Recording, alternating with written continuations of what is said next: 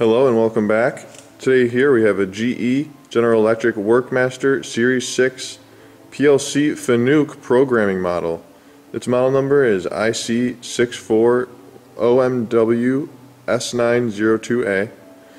This machine weighs around 40 pounds. I'll go ahead and show you the uh, General Electric property tag there.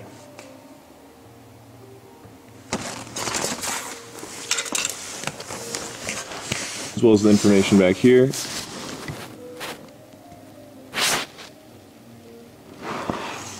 Show you the back. And this machine is in great working condition considering it was built around 1984, so it's over 30 years old. And now we'll go ahead and demonstrate to you how well it is running and working still after all these years. So today we'd like to show you what a laptop will look like in the 1980s. I'm going to go ahead, and unclasp the front here. This is, as you guys heard, the GE Workmaster, and this was used in factories and still is used today to program Fanuc robotic arms. So, as you can see here, I have the front open. I'm going to go towards the back, turn this on. And as you can see, as soon as it boots up, it will give you a system status, status for all of the working parts. So some things I want to note is that this does have 640K of memory and it also has an expansion pack of about 384K.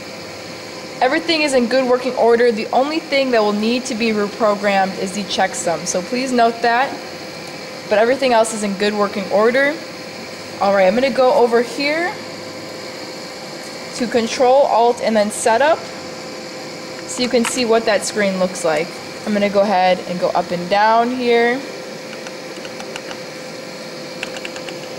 So you can see what that looks like. And another cool feature, I'm going to come over here to this bar. I can adjust the contrast and also the brightness. I can go dim it and brighten it. It also comes with the key to switch onto a monitor or online as well. So now that you've seen that it is in good working condition, I'm going to go ahead and shut this off. Back here. I also wanted to show you that it does come with the Workmaster Series 6 key codes.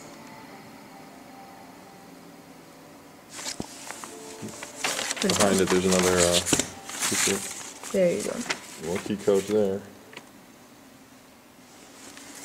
And now that we're wrapped up, I'm gonna go ahead, and pack up my laptop.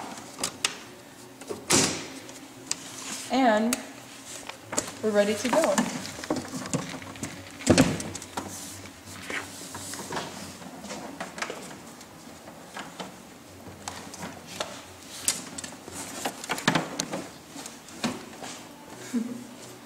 If you have any questions, please visit us at our eBay page at My Cyber Office ID or visit our website at mycyberoffice.com. Thank you for watching.